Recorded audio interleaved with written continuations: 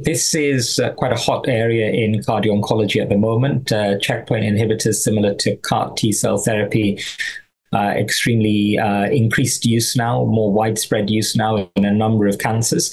And the number of patients who develop cardiac uh, side effects is probably increasing. Um, the number of patients with severe side effects and, and death is maybe uh, low, of the order of maybe 1 to 1.5%, but the number of patients who have some form of cardiotoxicity or troponin rise, um, I think is uh, significantly more more than that. Now, what we would like to do, of course, as with any type of toxicity or side effect, is a be able to detect that early and also have a marker you know a biomarker which will tell us you know are our treatments uh, treating the toxicity working? Are they not working? And um, at the moment as things stand the uh, only biomarker we have really in this space is troponin and there is some degree of uh, cross-reactivity depending upon whether you're using troponin I or troponin T.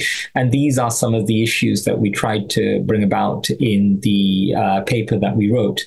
The additional um, uh, part of the paper is also talking about the frequency of monitoring and uh, how intensely we should be uh, monitoring these biomarkers before treatment, during treatment, and after treatment the ESC guidelines on cardio-oncology, which came out uh, two years ago, uh, went for a very high intense monitoring approach. Now, we appreciate that that may not be practical in all patients because um, it's maybe easy to say, you know, do these blood tests when they come for their oncology blood test, but, you know, who will be looking at the result? Who will be interpreting the result?